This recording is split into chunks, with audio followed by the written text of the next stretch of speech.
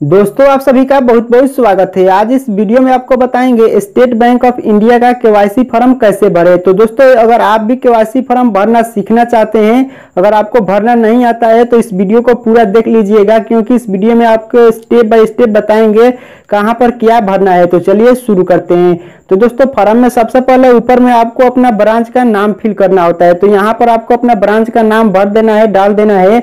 उसके बाद यहाँ पर आप देख सकते हैं, एक नंबर में यहाँ पर दिया हुआ है पर्सनल डिटेल पर्सनल डिटेल में आपको अपना नाम फिल करना होता है। यहाँ पर आपको देखिए प्रीफिक्स लिखा हुआ है। यहाँ पर प्रीफिक्स में आपको अगर आप मेल हैं तो आपको मिस्टर फिल कर देना है। अगर आप फीमेल हैं तो मिसेज फिल कर देना है। उसके बाद आपको अपना नाम, यहाँ फ़र्स्ट नेम में आपको अपना नाम फिल कर देना है, डाल देना है। उसके बाद अगर आपका नाम में कोई मिडिल नाम आता है तो आपको इसमें भरना है, नहीं तो इसे ब्लैंक छोड़ देना है, इसे ऐसे ही छोड़ देना है। उसके बाद आपको यहाँ पर लास्ट नाम में अपना लास्ट नाम फिल कर देना है, इसमें भर लेना है। उसके बाद आपको नेक्स्ट में यहाँ पर आपको अकाउंट नंबर पूछा जाएगा। तो अकाउंट नंबर में आपको इसमें अपना अकाउंट नंबर फिल कर देना है। नेक्स्ट है आपका रेसिडेंट रेसिडेंशियल स्टेटस इसमें आपको ये फ़र्स्ट वाले जो ऑप्शन दिया हुआ है रेसिडेंट इंडिविजुअल इसी पर आपको क्लिक ऐसे टिक आउट कर देना है चेकआउट कर देना है, सही का चिन्ह लगा देना है। नेक्स्ट में आपको होता है ऑप्शन टाइप यानी आपका व्यवसाय पूछा जा रहा है यहाँ पर। आप क्या काम करते हैं? तो दोस्तों यहाँ पर देखिए यहाँ पर बहुत सारे ऑप्शन दिया हुआ है। आप जो कोई भी काम करते होंगे यहाँ पर आप सेलेक्ट कर लेंगे जो बॉक्स बना हुआ है उस पर टिक कर लेंगे। यहाँ पर देखिए यहाँ पर प्राइवेट जॉब के लिए दिया हुआ है पब्लिक सेक्टर और यहाँ पर गवर्नमेंट जॉब करते हैं तो उसके लिए दिया हुआ है। अगर आप हाउस वाइफ है तो यहाँ पर दिया हुआ है। आप, अपने हिसाब से यहाँ से सिलेक्ट कर सकते हैं। अगर आप इनमें से कोई भी नहीं है, अगर आप स्टूडेंट है तो आप यहाँ स्टूडेंट पर क्लिक कर सकते हैं। चलिए हम स्टूडेंट पर क्लिक कर सकते हैं, कर लेते हैं। तो दोस्तों, अगर आप इनमें से कोई भी अगर आप नहीं है तो अगर आप ये सब सिलेक्ट नहीं करना चाहते तो आपके लिए यहाँ पर अदर का ऑप्शन मिल जाएगा। इसको आपको सिलेक्ट कर लेना है। उसके बाद नेक्स्ट में आपको यहाँ पर एक ऑप्शन मिलेगा annual income turn turnover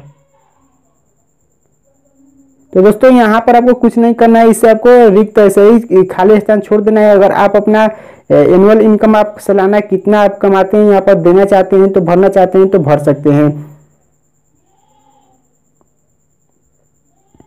तो दोस्तों नेक्स्ट में यहाँ पर देखिए, दो नंबर में दिया हुआ है आइडेंटिफिकेशन इन्फॉर्मेशन यहाँ पर आपको एंट्री है, यहाँ पर देखिए आधार नंबर इस वाले बॉक्स में आपको आधार नंबर फिल कर देना है। उसके बाद यहाँ पर देखिए पेन कार्ड बोल रहा है। यहाँ पर आपको पेन कार्ड का नंबर डाल देना है। उसके बाद नेक्स्ट में देखिए, यहाँ पर बोल रहा है certified copy of any one following documents documents to be submitted अगर आप आप फॉर्म जमा करते वक्त कोई और डॉक्यूमेंट्स देना चाहते हैं तो अगर आप इनमें से कोई भी ऑप्शन को सिलेक्ट करते हैं तो आपको, जैसे कि आप वोटर आई कार्ड पर ऐसे चेकआउट टिक करते हैं तो आपको इसका नंबर इसमें फिल करना होगा।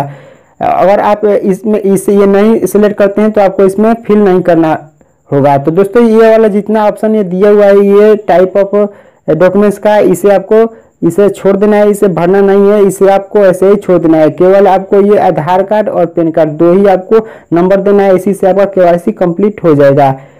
तो दोस्तों उसके बाद आपका यहाँ पर नेक्स्ट में देखिए, यहाँ पर तीन नंबर में दिया हुआ है। करेंट एंड परमानेंट एड्रेस यहाँ पर फिल करने के लिए। तो यहाँ पर भी देखिए, यहाँ पर एड्रेस टाइप पूछ रहा है। तो एड्रेस टाइप में आपको ये जो सेकंड नंबर में ये दिया हुआ है रेसिडेंशियल इसी पर आपको इस पर सेकंड वाले पर क्लिक कर देना है। उसके बाद आपको यहाँ से फिर से ये कोई भी टाइप ऑफ़ कार्ड आपको सेलेक्ट नहीं करना है, ये सारा का सारा इसे छोड़ देना है, इसमें कुछ नहीं भरना है।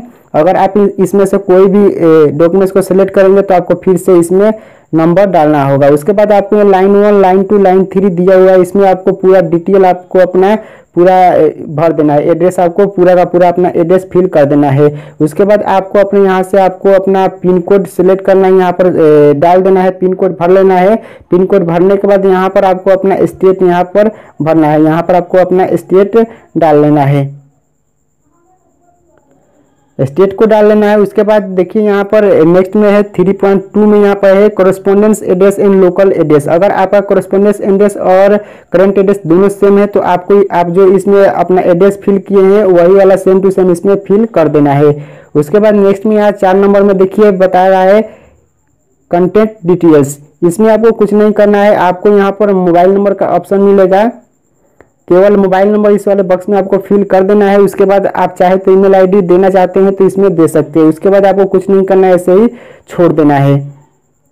दोस्तों, उसके बाद आपको यहाँ से पाँच नंबर वाले ये जो ऑप्शन दिया है अप्लीकेशन डिक्लेरेशन इसमें आपको क्या करना है, यहाँ पर जिस दिन आप फॉर्म को जमा करेंगे बैंक में, आपको यहाँ पर उस दिन का डेट फिल कर देना है। उसके बाद आपको यहाँ प्लेस में आपको अपना शाखा का नाम इसमें फिल कर देना है और यहाँ पर आपको अपना सिग्नेचर कर देना है। यहाँ पर सिग्नेचर कर देना है। अगर आप अंगूठा का निशान लगाते हैं तो यहाँ पर आपको अपना अंगूठा का निशान लगा देना है। उसके बाद आपको ये कुछ ये सारा कुछ नहीं भरना है। ये सब ऑफ़िस के थ्रू भरा जाएगा। उसके बाद आपको इस फॉर्म के साथ में आपको अपना आपको अपना आधार कार्ड आपको अपना आधार कार्ड का कॉपी और पेन कार्ड का कॉपी आपको आधार कार्ड और पेन का पेन कार्ड का कॉपी लेकर के अपने बैंक में जाना है और इसे जमा कर देना है। वहाँ पर आपको आपका फिंगर लिया जाएगा, उसके बाद आपका के कंप्लीट हो जाएगा। उम्मीद करता हूँ ये वीडियो आप लोगों को पसंद आई होगी। अगर वीडियो पसंद आई है तो लाइक करिए और अपने दोस्तों के पास शेयर करिए और कोई भी कन्फ्यूज़न हो तो कमेंट करके पूछ सकते हैं।